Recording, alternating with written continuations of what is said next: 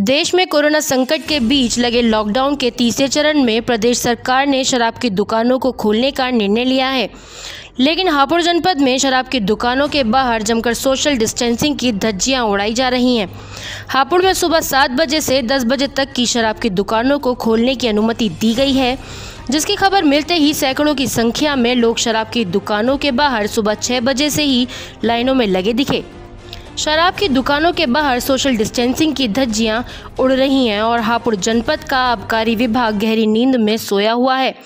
ठीक हो के बाहर उमड़ी भीड़ से कोरोना के फैलने का खतरा भी बढ़ गया है।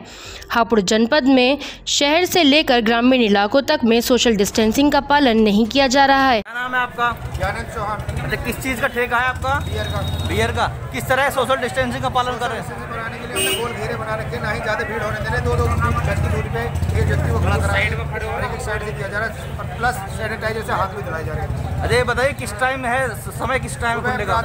सात बजे से दस बजे तक।